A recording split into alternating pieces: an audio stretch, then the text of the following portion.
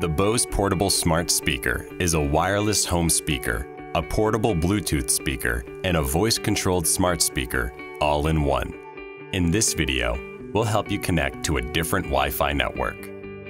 When your portable smart speaker is connected to a Wi-Fi network, it has access to every feature, including voice control, Bose Music app connectivity and music browsing, and the ability to create groups with other speakers.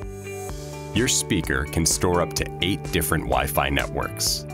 If you want to use a different Wi-Fi network, power on your speaker and then simultaneously press and hold the volume down and play pause buttons until the light ring flashes.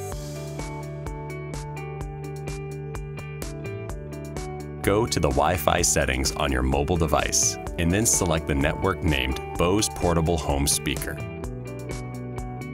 Next, open the Bose Music app. A message will appear to indicate you're connected directly to the speaker. Tap Continue, and an in-app web browser will allow you to select a different Wi-Fi network. After typing in the Wi-Fi password, tap Submit. Once the connection is successful, return to the Wi-Fi settings and make sure your mobile device is also connected to the network. You can now access all the Wi-Fi enabled features your portable smart speaker has to offer, whether you're at home, at work, or visiting a friend's house. You can repeat these steps at any time to connect to a different network.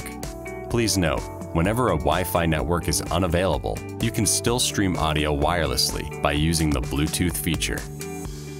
For additional support, visit our website.